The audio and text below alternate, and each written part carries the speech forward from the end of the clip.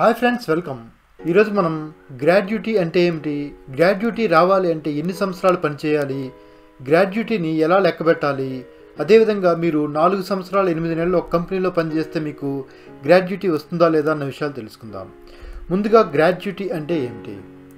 Gratuity అనేది ఉద్యోగం చేసిన సేవలకు కానీ ఉద్యోగ సంస్థ గ్రాడ్యుటీ ఇస్తుంది.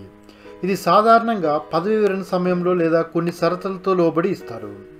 ఇప్పుడు మనం గ్రాడ్యుటీ రావాలంటే ఎన్ని సంవత్సరాలు పనిచేయాలన్న విషయం విషయాన్ని తెలుసుకుందాం. గ్రాడ్యుటీ పొందాలంటే ఒక వ్యక్తి ఒక సంస్థలో ఐదు సంవత్సరాలు పనిచేయాలి లేదు అంటే ఒక వ్యక్తి సంస్థలో పనిచేస్తుండగా చనిపోయినా లేదా ఏదైనా ప్రమాదం వల్ల వికలాంగుడైన గ్రాడ్యుటీని చెల్లిస్తారు. అయితే gratuity act nineteen seventy two ప్రకారం ఎంప్లాయీస్ ప్రైవేట్ ఎంప్లాయీస్ని రెండు కేటగిరీస్ కింద విభజించారు. ఇందులో మొదటిది గ్రాడ్యుటీ యాక్ట్లో ఉన్న ఎంప్లాయీస్ మరియు గ్రాడ్యుటీ యాక్ట్లో లేని ఎంప్లాయీస్. ఒక ఉద్యోగి గ్రాడ్యుటీ యాక్ట్లో ఉండాలి అంటే మీరు పనిచేస్తున్న కంపెనీ గత పన్నెండు నెలల్లో ఏదో ఒక రోజు మినిమం పది మంది ఎంప్లాయీస్ పనిచేస్తే కంపెనీలో దానికి ఆటోమేటిక్గా గ్రాడ్యుటీ యాక్ట్లోకి వస్తారు. అందులో పనిచేసిన ఎంప్లాయీస్ అందరూ కూడా. ఒక్కసారి ఇది వస్తే చాలు. తర్వాత పది మంది ఎంప్లాయీస్ పని చేయకపోయినా సరే ఆ గ్రాడ్యుటీ యాక్ట్ అనేది కంటిన్యూ అవుతుంది. మీకు గ్రాడ్యుటీ రావాలి అంటే ఈ యాక్ట్లో ఉన్న వాళ్ళకి ఇది వస్తుంది. కొన్ని సందర్భాల్లో గ్రాడ్యుటీ యాక్ట్ లేకపోయినా సరే వీళ్ళు గ్రాడ్యుటీ కొన్ని కంపెనీలు ఇస్తాయి. ఇప్పుడు మనం గ్రాట్యుటీని ఎలా క్యాలిక్యులేట్ చేయాలో చూద్దాం. దీనికి గ్రాట్యుటీ ఫార్ములా మనకి fifteen into last on basic salary into number of years work by twenty six. Suppose మీరు లాస్ట్ డాన్ బేసిక్ శాలరీ నలభై వేలు అనుకోండి అదేవిధంగా మీరు ఒక కంపెనీలో ఆరు సంవత్సరాల ఎనిమిది నెలలు పనిచేశారనుకోండి అప్పుడు మీ gratuity formula fifteen into basic salary forty thousand into number of years work six years eight months. ఇక్కడ మనం సెవెన్ కింద తీసుకున్నాం. డివైడెడ్ బై ట్వంటీ సిక్స్ ఇప్పుడు మనకి లక్ష అరవై ఒక్క వెయ్యి ఐదు వందల ముప్పై ఎనిమిది రూపాయలు మీకు గ్రాడ్యుటీ వస్తుంది.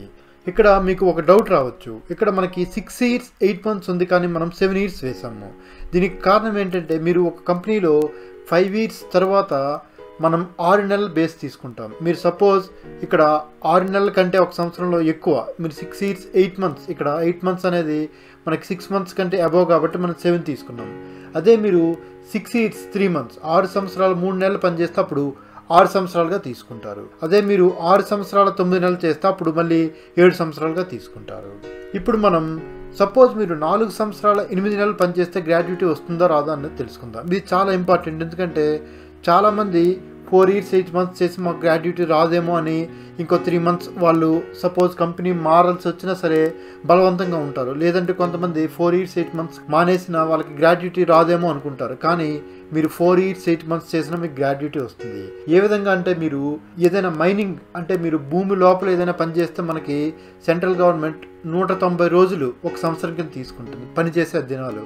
అదే మీరు సాఫ్ట్వేర్ లేదా ఏదైనా ప్రైవేట్ జాబ్ చేస్తే మనకి రెండు వందల నలభై రోజుల్ని ఒక సంవత్సరం కింద తీసుకుంటారు. ఆ విధంగా లెక్క పెడితే మనకి నాలుగు సంవత్సరాల ఎనిమిది నెలలు మీరు ఒక కంపెనీలో కంటిన్యూస్గా చేస్తే మీకు గ్రాడ్యుయేటీ వస్తుంది. ఇన్ కేస్ మీకు కంపెనీ ఇవ్వదు అన్నా సరే మీరు కోర్టుకి వెళ్తే కంపల్సరీగా వస్తుంది. ఓకే ఫ్రెండ్స్ ఈరోజు మనం గ్రాడ్యుయేటీ గురించి అన్ని విషయాలు తెలుసుకున్నాం కదా. ఇటువంటి మరిన్ని వీడియోస్ కోసం please like subscribe and click on the bell icon. Thank you.